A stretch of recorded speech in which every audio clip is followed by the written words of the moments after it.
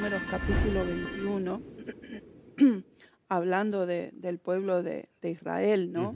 Dice que, bueno, partieron del monte de Or, camino al Mar Rojo, para rodear la tierra de Edom, y dice que se desanimó el pueblo por el camino.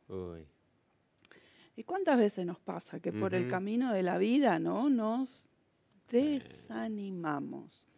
Es como que eh, perdemos eh, ¿no? la fuerza, la vitalidad, el deseo de conquistar, es como que entra una tristeza, un desinterés, ¿no? el desánimo eh, abre la puerta a esas emociones derrotistas, ¿no? ese pensamiento, desaliento, desconsuelo, ¿no? Y como que no hay esperanza. Y terrible lo que pasa cuando no eh, le abrimos la puerta a estas emociones. El pueblo había sido sacado con mano poderosa de Egipto, diez plagas, el despliegue del poder de Dios, pero lamentablemente no, no se enfocaban en eso es importantísimo que nos enfoquemos en todo lo que Dios hizo, en la salvación tan grande que nos dio, la liberación, el milagro, la restauración familiar, porque cuando nos recreamos en esas cosas sabemos que Dios será fiel hasta el fin. Amén, amén.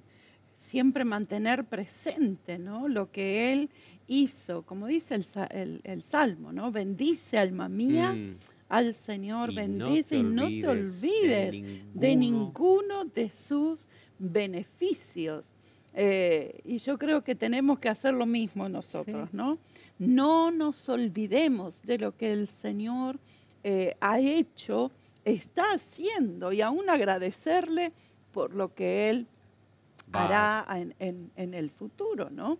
Eh, dice Filipenses 1.6, ¿no? El apóstol Pablo está ahí declarando eh, esta palabra sobre la iglesia y dice, estoy convencido de esto. El que comenzó tan buena obra en ustedes la irá perfeccionando hasta el día de Cristo Jesús.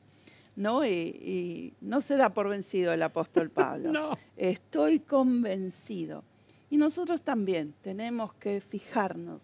A veces eh, nos frustramos con nosotros mismos.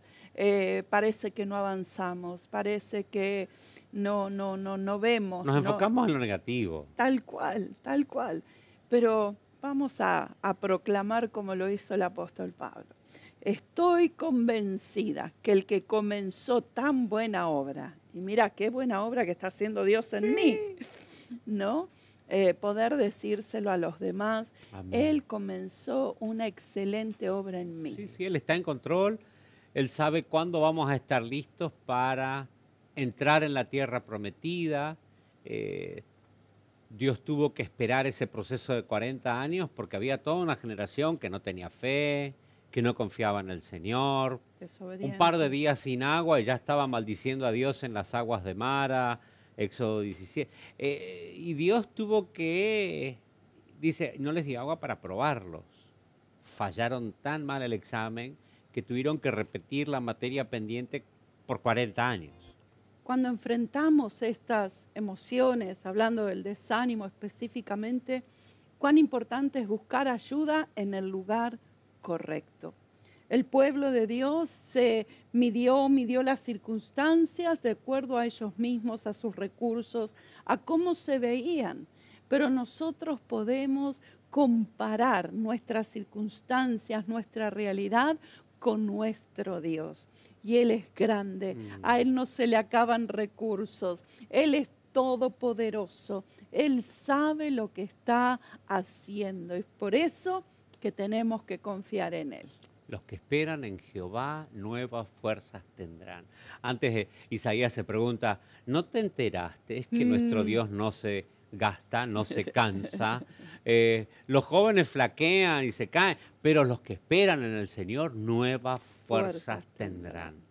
Es tomar la decisión de aprender a esperar en el Señor, de entender que eh, este es el día que Él creó, que tomo la decisión de alegrarme, de gozarme en Él. Y cuando tomo esa decisión, la vida de Dios se manifiesta y puede enfrentar cualquier adversidad que tenga delante. Amén, amén.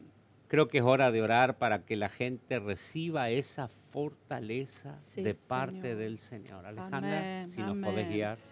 Oh, gracias Señor, porque en ti encontramos nuestra ayuda.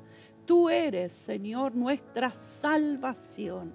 Y así como esa serpiente que fue levantada para de bronce para traer salvación a los que se habían quejado y murmurado, Jesucristo, tú fuiste levantado para traer salvación, sanidad, restauración, esperanza a cada uno de nosotros. Y es por eso que hoy, Señor, te pido que todo espíritu de desánimo, todo sentimiento, toda emoción de desesperanza, de falta de confianza, de angustia, de agonía, de agonía, tormento, depresión, frustración, Señor, que ha tomado el corazón, el cuerpo, la mente, los pensamientos. Hoy tu libertad se manifieste, tu poder esté trayendo liberación de toda angustia, de todo dolor, de todo aquello que ha quitado y robado la esperanza. Hoy invocamos el poder de tu nombre, oh Jesucristo y se suelta la fe, la esperanza, la confianza, el entusiasmo, el gozo, la alegría, aún la pasión y la expectativa de que cosas buenas están en camino. Gracias Jesús, porque tú eres nuestra esperanza, nuestro gozo y nuestra salvación. Amén.